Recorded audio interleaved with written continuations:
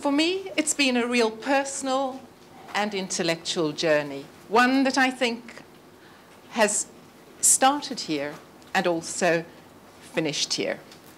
It was three years ago that I came and stood in a room just down the corridor and was met by a sea of strange faces. I didn't know anybody bar one person who was involved. Over the course of three years, those strangers have become colleagues, friends, but also family. We're part of the open air family. And this family spans north, south, east, and west across Africa and beyond. And all of you are in some way part of that family. And now we are coming to the end of what is part one of the scenario project. And we are hoping that you're sufficiently interested that you will now take this forward to part two, part three, or whatever. Everything we show you now is in the compendium. If you want to follow me, um, you can as we go, or otherwise you will find these images, everything, um, in the document you have in your hands. So a network is a network, and open air is a network of networks. But ultimately, networks are meaningless unless the people inside them have something to offer. And that truly is what open air is about. The tacit knowledge in all of those heads that have combined together to create something which is truly greater than the sum of the parts. All of those people, knowledge and innovation is about people and what's inside people's heads. And these scenarios that we've made are truly a combination of everybody's thinking. Everybody's thinking, all of the research that was undertaken and that you heard about yesterday, all of the documents that each and every one of, of us have read and studied, and you can see some of them in the references to the actual compendium. Our project was truly daunting when we started. We came to the first workshop and we were trying to understand what the relationship was between progress and development, information, technology, and openness, knowledge and innovation, and on top of all of that, the role of intellectual property for Africa. And anybody who's spent any time in Africa knows that Africa is a very diverse continent. Where do you start? Um, as this particular image shows, Africa's got many identities, and every African country has chosen a different identity to express in the stamps that are now kind of a historic item. But as Kapuscinski described, Africa is really a figment of our imagination. There are many Africas. For every commonality, there is a difference. So please, a word of caution. We've, these are Pan-African scenarios, but there are still as many differences as there are similarities. But still, they create a framework within which you can start exploring your particular context. So then we asked ourselves some really difficult questions. What does development mean? What is, what is progress? What kind of knowledge? Oh, I've forgotten. How is knowledge governed? And importantly, what is the context? How does this context shape the answers?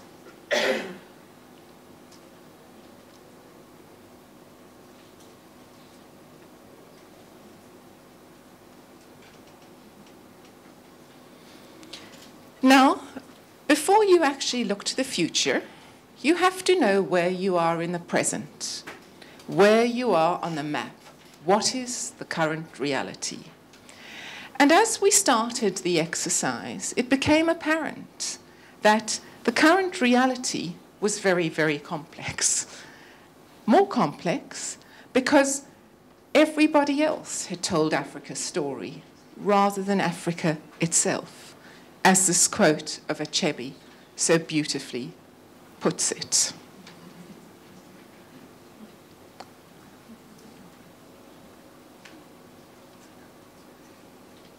We also learned that for many years, over the, over the centuries, Africa's been a place that nobody has really known too much about. This is the first ever map of the whole African continent. It was drawn in 1564 by Sebastian Münster.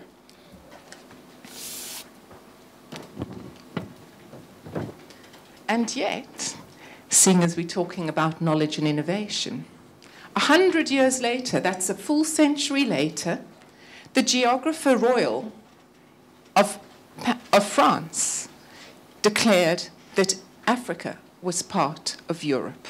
So knowledge depends on perspective. Sorry, I'll just go back to that for a moment. What we also learned during history is that this context matters. When we talk about appropriate technologies, it will depend on the context, as Fernando has explained to us a moment ago. We also learned that information and technology are time bound, that 13 centuries BC, there was a Suez Canal, and it was only when Napoleon started exploring in 1799 that the idea of a Suez, second Suez Canal became apparent. So knowledge and technology can be lost. It isn't a static process at all.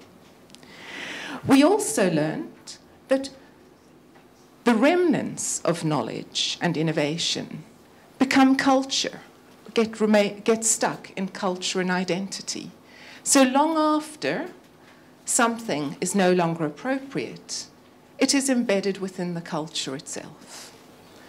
But what we also learned is that in Africa's long history, there have been countless disruptions that have pushed and changed the context. And these disruptive forces, there are several different types. One, as Fernando explained a moment ago, is technology. It's the one we think about. And through history, technology has changed the context. But it's not the only one. Other, there, are, there are other disruptors, and most importantly, and something that maybe Africans understand more about than many, parts, uh, many other parts of the world, is the environment. Great Zimbabwe was a civilization that flourished for centuries and disappeared overnight, virtually, due to environmental pressures. Um, and there are also what we call wildcards and shocks slavery, colonialism, but also just conflict that can change the environment and the context overnight. So, what are scenarios? Scenarios are basically a set of different lenses with which to view the world. And here are three maps of the world overlaid. If you look, the bottom yellow one, maybe it's orange to you, is the traditional Mercator map that has been used, which was for many years fit for purpose. At its base, uh, the, the concept behind the Mercator map is actually locating true north. So for the navigators sailing the seas, it was the perfect map. But as you can see, it shrinks Africa, Africans, uh, the size of Africa. It doesn't give you any concept of the actual landmass of Africa. As one can see if you look at the Peters map, the brown map, which is overlaid on top of it. And then, like any good politician, there's an in between, the Robinson map which takes a bit of Mercator, a bit of Peters, and puts the two together. What we want to show with these three maps overlaid is that the map and the mindset behind it defines the landscape. Neither, none of these maps is wrong, but none of them is right. And so, by having more than one map, you are actually in a better position and understand the whole better than you would if you only had one map. Okay? And basically, that is what scenarios are about. Maps, behind any map or scenario, is a set of assumptions and a set of mental models which are the working, which have created the lens with which one actually views the world. So that was a brief gallop through what is a long part of the compendium, the current reality, the perspective. We then come to driving forces. So when we stand today and we look to the future, what might change? What might impact upon Africa's future over the next 20 years? The date we picked was 2035. And these are our drivers of change. And of these drivers of change, the many, many things we discussed and had many workshops about, we distilled them down to five. Now, if anybody wants to follow that, it's page 7071 in your compendiums themselves.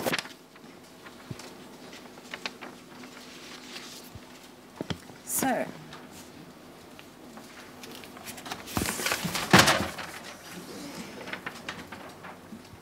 we have five driving forces. The first one is global relationships. And that's really about the interconnections and the interdependencies that span a global world, or distance them, bring people together or pull them apart. And the question we asked ourselves was would these relationships be collaborative, competitive, or coercive? And as importantly, who benefited from these relationships? Our next driving force is statehood and governance, the role of the state in relation to its citizens, and how to balance the innate tensions between individual rights and freedoms and state power. And the question we asked ourselves will these relationships be cohesive, challenging, or communal? And again, whose interests will they serve? Our third driving force is identities and differences, the values that evolve in the face of social, political, and economic changes that are taking place at every level global, communal, and also individual.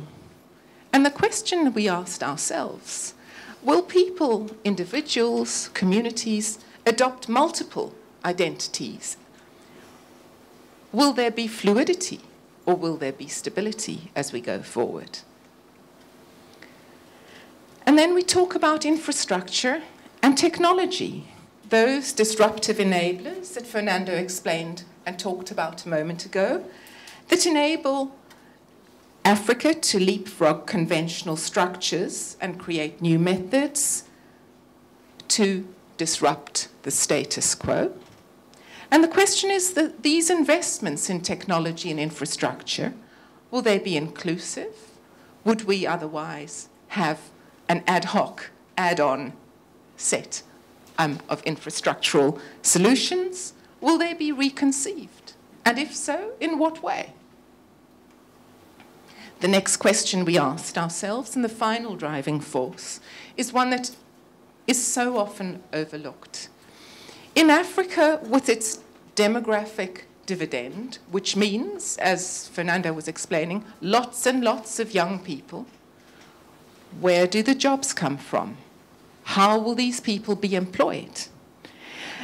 What is Africa's ability to create opportunities for this growing workforce, providing them a means to evolve and reduce poverty, create economic growth, social empowerment, and ideally also social cohesion. And the question we asked ourselves will there be economic diversity, Will Africa informalize more? Or will, they will Africa reconfigure itself in some different way? And then, alongside those five driving forces, we realized that there were a whole series of possible shocks. Shocks that could disrupt and push the system into something that is actually almost inconceivable. Or not. anyway, from all of those musings and research and analysis done by a large group of scenario builders, many of whom are sitting in this room, we devised three scenarios which will be presented to you now. The first, wireless engagement, the second, informal, the new normal, and the third, sincerely Africa. So, without more ado, let me present the three open air scenarios.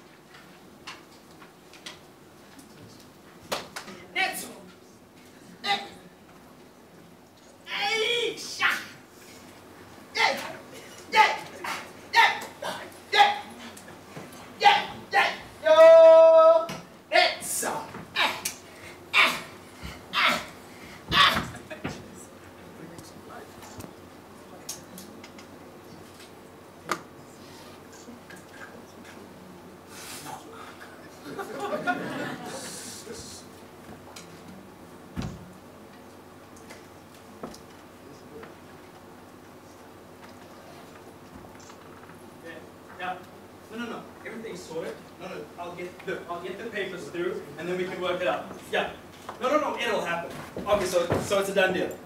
Okay. Yes. no, no, no, I'm still here. Okay, cool. I'll talk to you later. Okay, ciao. See ya. Yes! Call me lucky. Lucky by name, lucky by nature. For me, life is good. And the world seems to be made for me. Wait up! Over here! Another round of drinks for everyone, yeah? Red and black. You know, I came from a humble background. Even though I grew up in the village and attended the local school, we were given an opportunity, and I made the most of it. Our school was chosen as a test case in using the new resources, and we were given a little bit of more attention than the others in the area, and the teaching was better too. It was my teacher who helped me to apply for the international program funded by the Helping Hand Foundation. I was lucky they chose me. they paid for everything. They paid for my studies and my living costs to go to boarding school in the city. You know, it was hard for me at first because I was shy and I was teased a lot because I came from a different class. But I was driven and hungry to show that I can be a success too. And life for me now, ah, it's happening. And it all started here in Africa. Africa is a continent of abundance, abundant with land, resources, sunshine, and beautiful people. You know, I've made some good connections. My friends now are everywhere, online, across the city, all over the world. And we work wherever we want to and wherever the work takes us. You know, being an entrepreneur is a tough game. It's, it's high risk. And I've seen many come and go because some people just can't keep up with the pace of change. To be ahead in the game, you have to stay two steps ahead of the competitors. Because what's cool today is late tomorrow. And when it's happening and you're sitting at your desk and life is just fine and, business is booming and everything's just good, oh, that's the ultimate high. But when you make the wrong move, you're dead meat. And, sorry, international call, sorry. James, yes, no, we said through the papers, so done. No, no, the deal is done. yes, we just said the papers. I, I've lived in this village my whole life. Others have left, but I've been left behind. My parents didn't have money to send me to school, so I had to now work in the fields and, and take care of them. Um, even though I have nothing. Not like my brother. he's, he's, he's the one who succeeded in our family. He, he finished school, left here, and and now he's too rich and important to even come and visit us. Once, he, once he, he gave me this, this, this new phone. It was, it, was, it was so fancy and everyone came to look at it. I didn't know how to use most of the things on the phone and I didn't want to ask my brother because he thinks I'm stupid. but it's, it's true that I that I had to teach myself how to read with my friend, and I don't understand most of the words on the phone. But you know, this phone needs to always be recharged. And we don't have a generator, and I don't want to ask the neighbors if they complain, always ask for money. So it's difficult.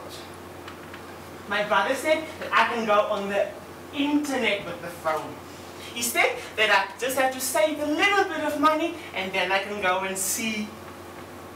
But what is the internet really? I mean, how will it help my life and, and my future? My life is so far away from them. Away!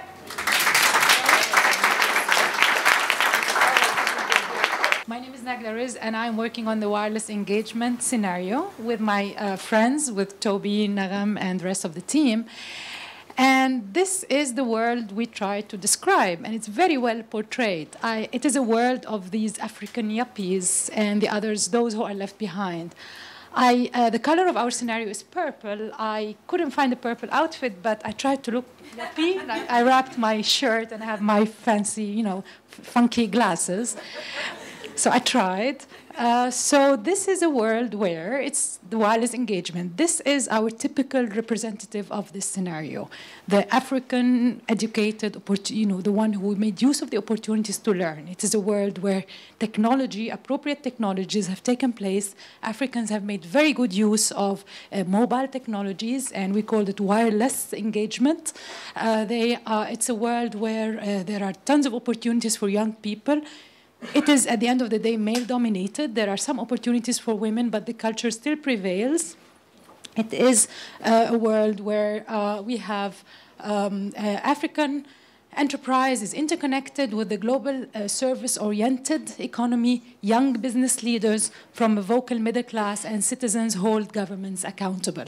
So the empowerment that takes place because of technologies, by the use of technologies, is also translated in better governance for society.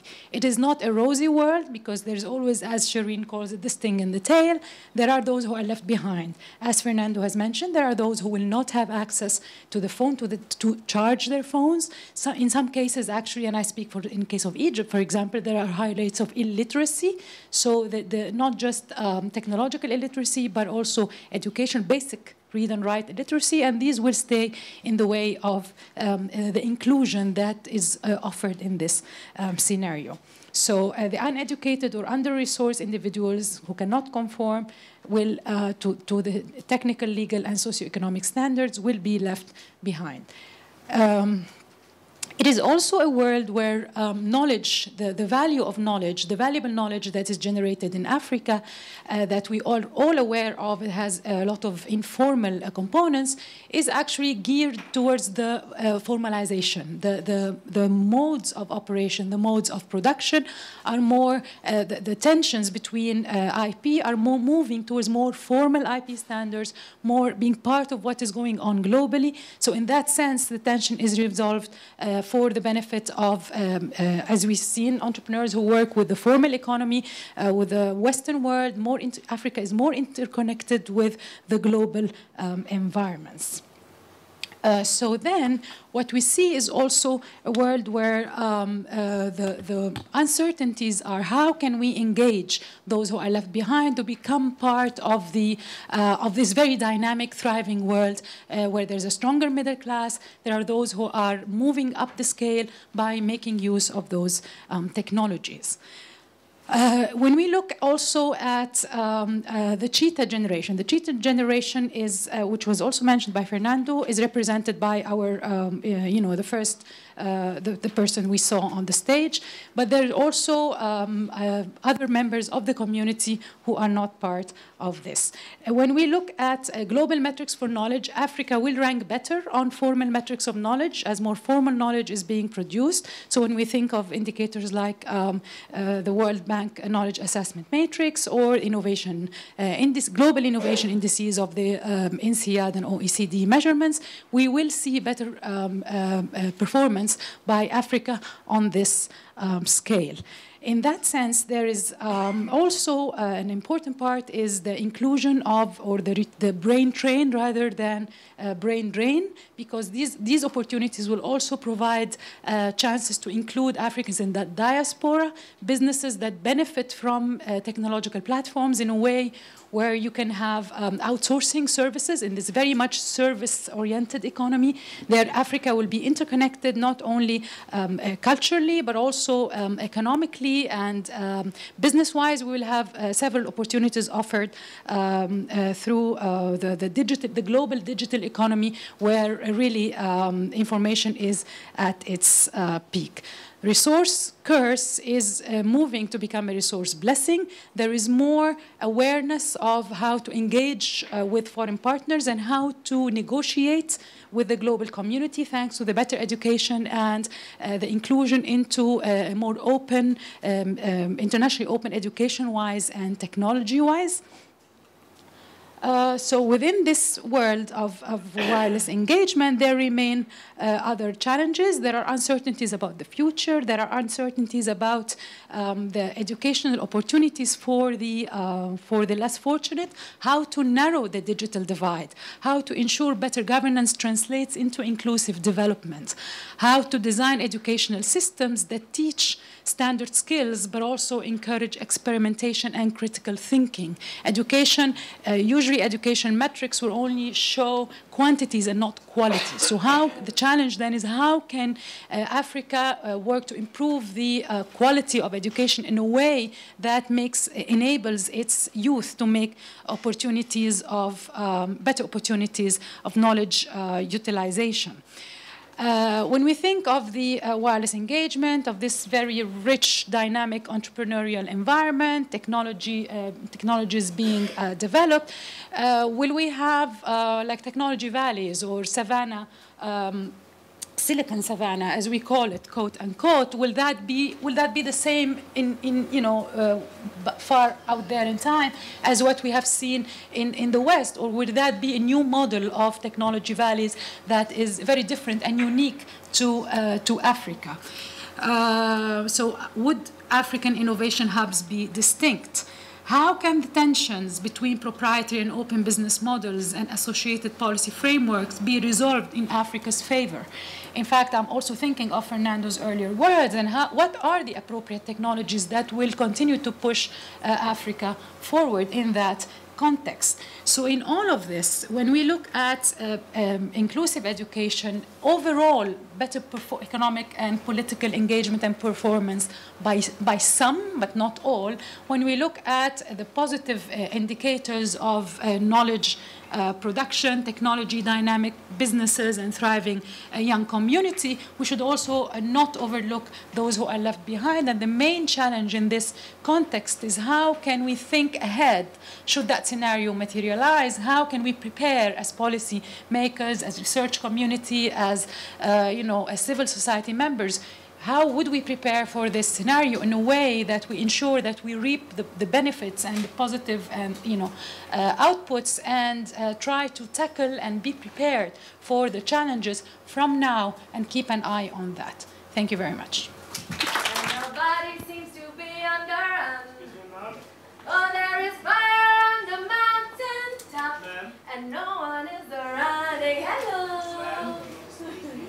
there is fire on the mountain and nobody seems to be under run.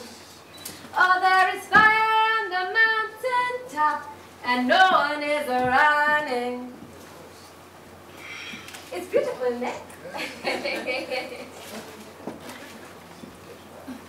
Can I help you? Yes, yes, you're right. You won't find these designs anywhere else in the market. Each one is unique.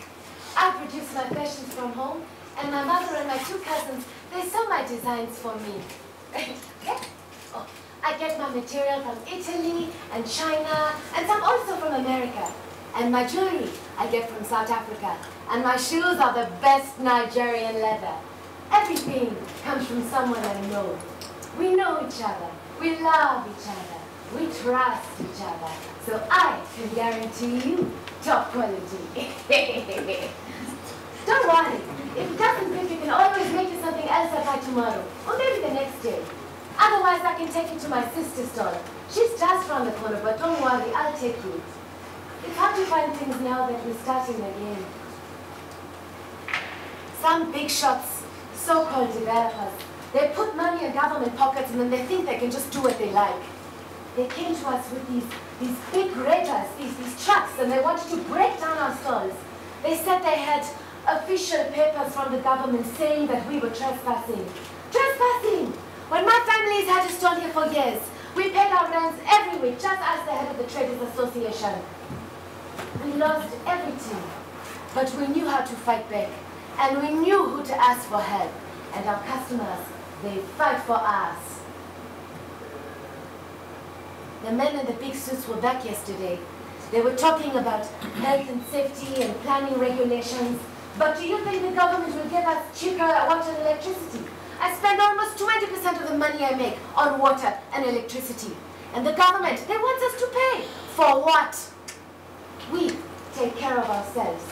And they, they just give us papers, but I'm talking too much. You, you want to buy the original? Hey, you can see my work in the papers. Stars, stars were my designs, and you can too, my sister.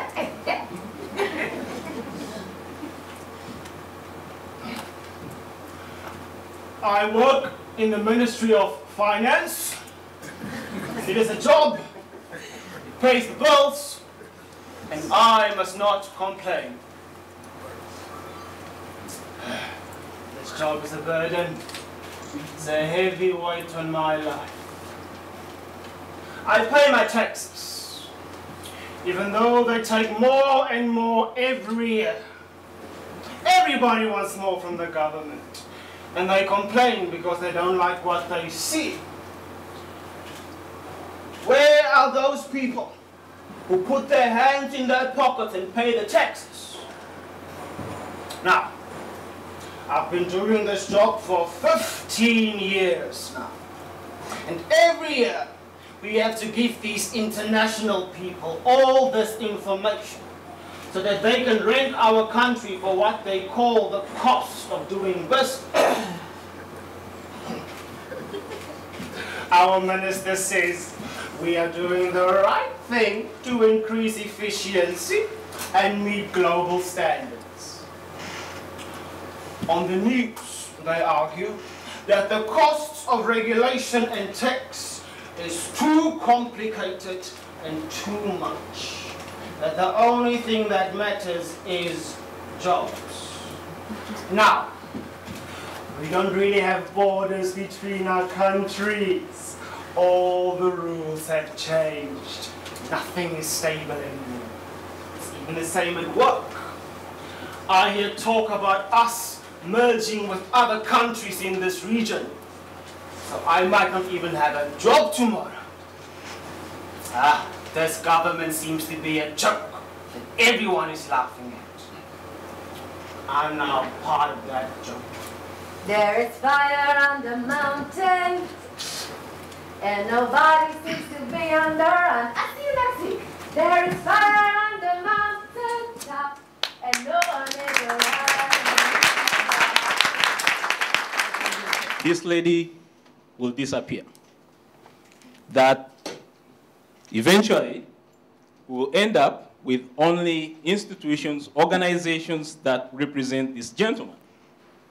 And probably many of you in this room believe that and continue telling yourself that this lady has more business, will eventually disappear.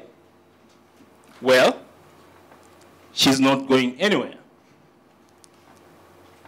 This picture was taken in one of the, on one of the streets in Kampala. So, Mr. Fernando, that is Kampala for you.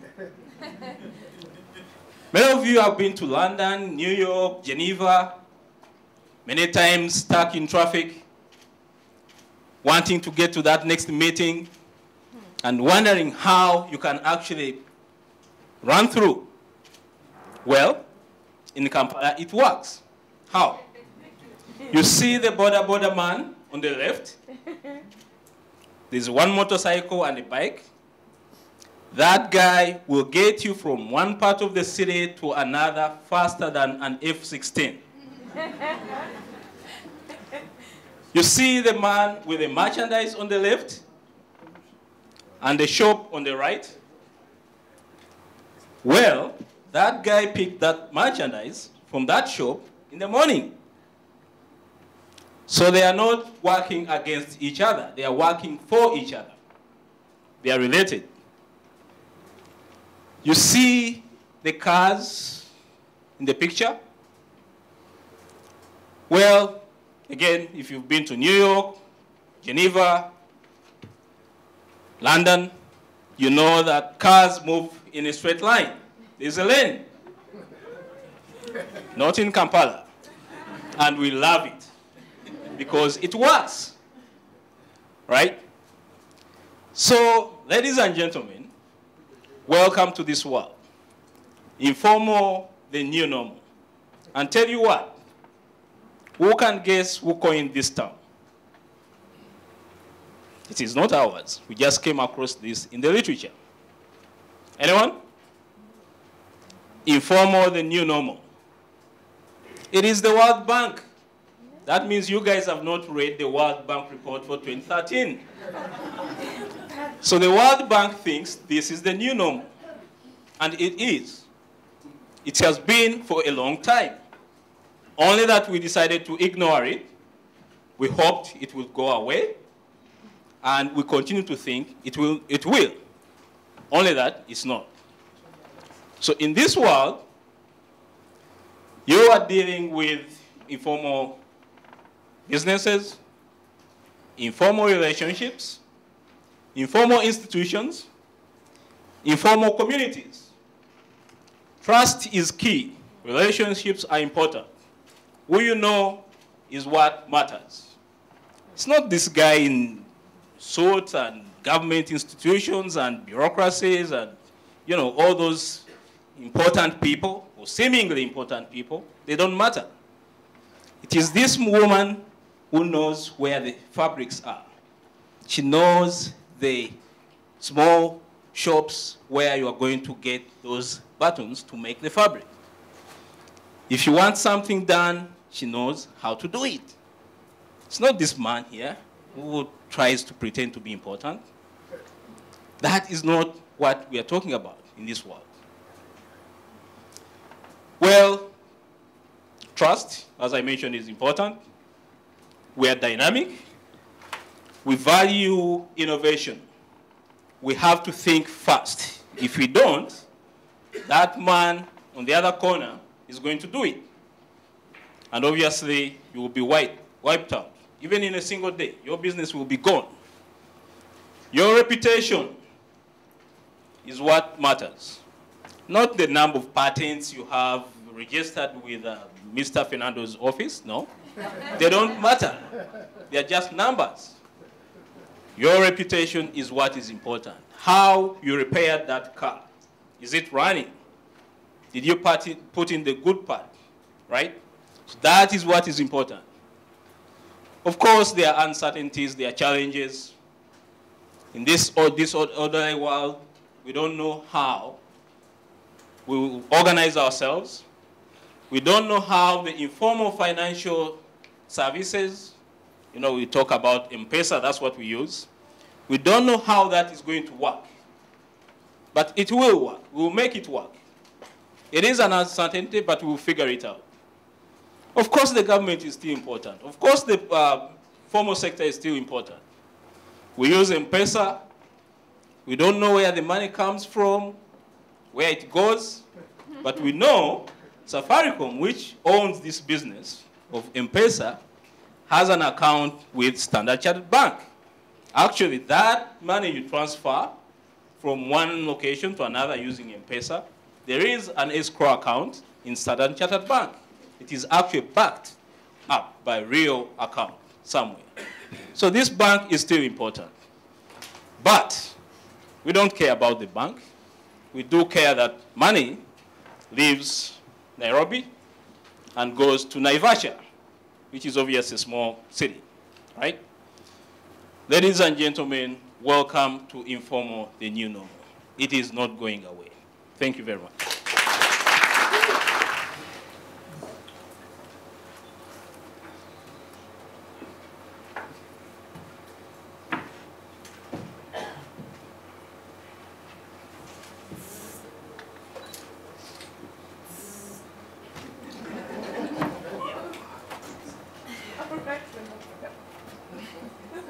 Options. Yeah. Yes. Open Open messages. messages. Open. O open. Yeah. Yeah. it's from my grandbaby.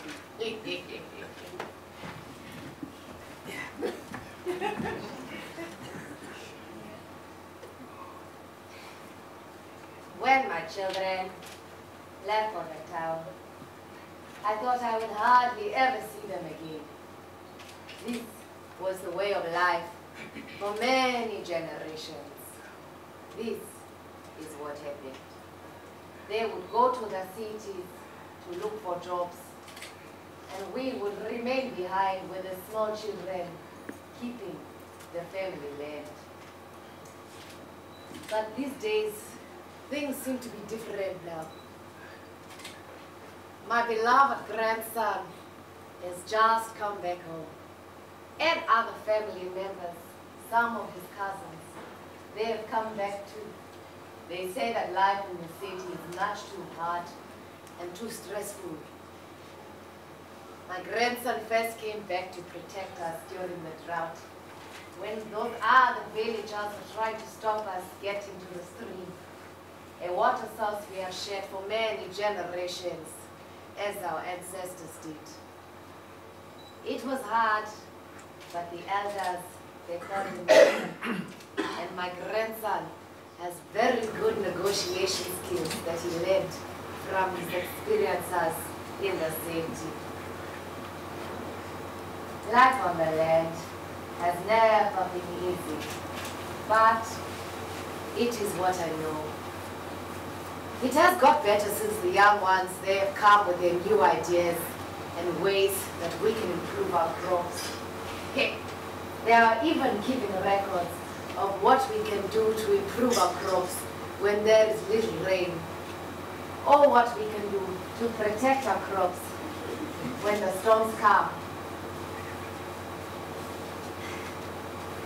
We know what to grow, and we watch our land. So our ancestors, they are happy, and they will never turn their back on us. Sometimes, the young ones, they sell their knowledge to the outsiders, and they bring us more money. My grandson, he says he's too educated to be working here in the fields. But that is his future now.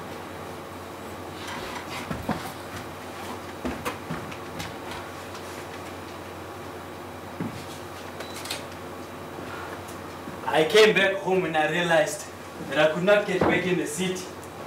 Despite my qualification, everything goes to the foreigners. And the government doesn't even care. I was never part of the xenophobia. But many of the young men were fighting and killing each other. I understand that they are angry and frustrated like me. But that violence helps no one. Since I've returned home, I've made some good friends. And we are making changes to our community to benefit everyone. We are using collectives to give us better negotiating powers so we can make the more expensive changes that we need.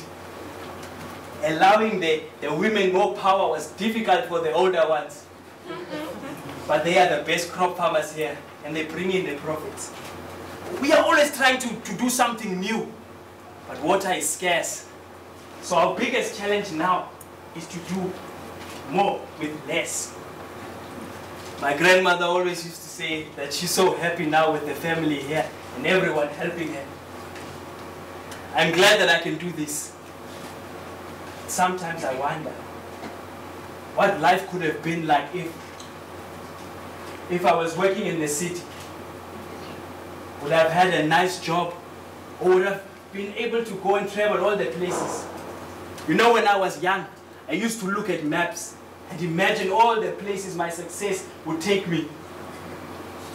But who would have thought it would have just brought me home? Ah, Masambe Maput.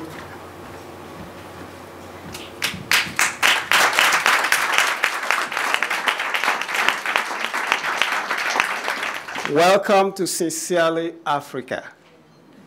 This is Africa where we now go back to the basics, where external pressures have forced us back home. And we have begun to re-engage with our core traditional values. We are reviving our traditional knowledge and practices. The elders and the youths are having a concert of progress. And we are taking our destiny in our own hands. And how did we get there, if we may ask? Well, Fernando was right. In the year 2050, we will achieve that target the population would have exploded. There will be exponential factor. May I tell you that the amount of food wasted in North America and Europe combined in a year is equal to what we produce in sub-Saharan Africa. Dare I to tell you that if everybody was to live the average lifestyle of one American, one resident of America, then we will need four Earths to sustain ourselves. So there is a problem, and we have to go back. This is the world of Sincerely Africa.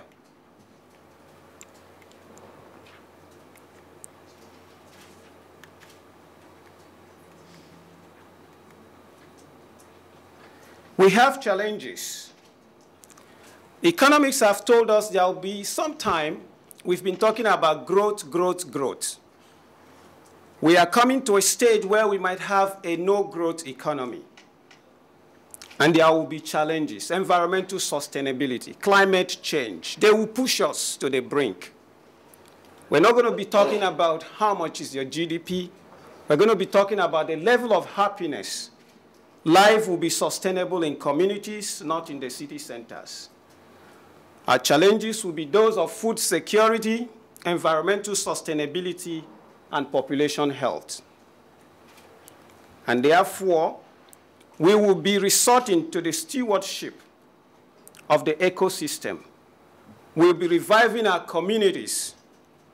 We'll be looking for ways to sustain ourselves. But some people will be excluded in this system. Make no mistakes about it.